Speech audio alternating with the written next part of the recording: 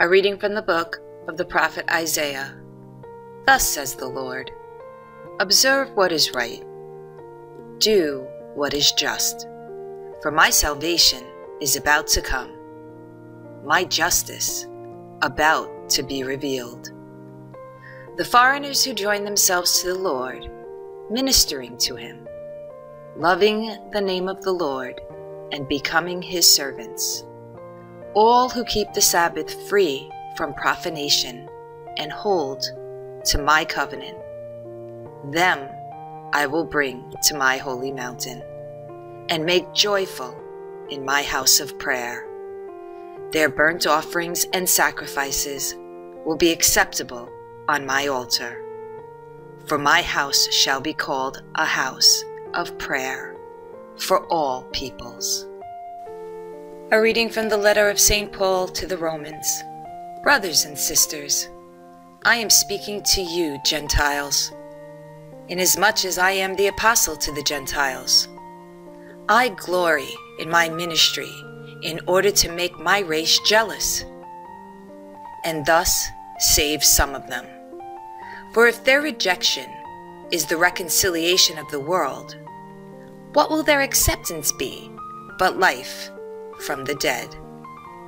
For the gifts and the call of God are irrevocable.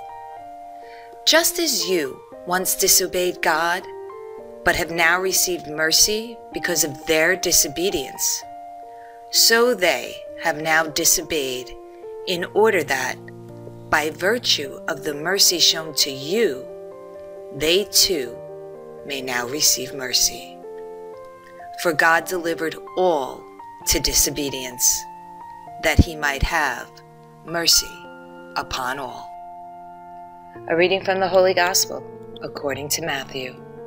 At that time, Jesus withdrew to the region of Tyre and Sidon. And behold, a Canaanite woman of that district came and called out, Have pity on me, Lord, son of David.